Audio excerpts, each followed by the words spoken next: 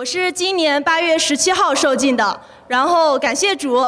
那我记得那会儿我八月三号刚来 USC，然后有一天我就是收拾完行李就自己特别累，然后我室友邀我去图书馆，我当时特别不想去，但是碍于他是我室友，我就只能陪他去。结果发现图书馆关门了。他说：“那我们去另一个图书馆吧。”然后我就当时真的是无精打采的陪他去另一个图书馆。但是在路上，我碰到了当时在传福音的菲比姊妹，然后她给我对她给我发了一张福音单张。当我拿到那个福音单张的时候，我真的是瞬间就是欣喜若狂。我也不知道为什么，我就觉得很宝贝那个福音单张。我甚至觉得这个福音单张会改变我的一生。然后。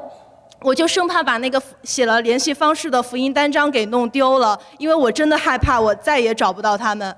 后来感谢主，姊妹邀我来参加福音聚会，然后在第二次聚会的时候唱到诗歌《信的故事》，里面唱到说，初次到这里听他们在说耶稣的事迹，未曾闻过，但我心坎有新的感受。我当时就觉得。主啊，你真的是把我带到美国，带到 USC。原来你是要给我一个平安喜乐的家，因为我自己就是嗯，从小的就是家庭，就是不是很和谐，所以我从小就特别羡慕那些小朋友可以跟爸爸妈妈一起去游乐园，或者说一家人坐在一起吃一顿饭。所以当时我聚会的时候，跟弟兄姊妹在一起吃饭，然后看到墙上写着“召会是我甜美家”，我就觉得主啊，真的是在这里遇见了我一直在寻求的家。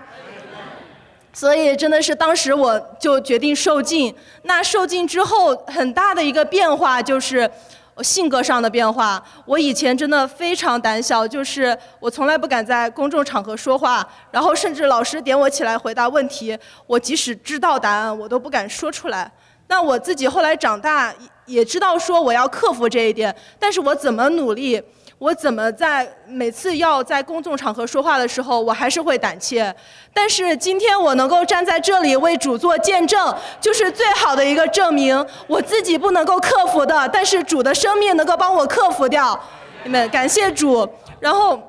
对，所以现在我对我自己的父母也是满了负担。每次跟他们视频的时候，也会跟他们传福音，也很感谢主。我的父母现在非常敞开，他们的关系也变得非常的，就是家里也特别的喜乐。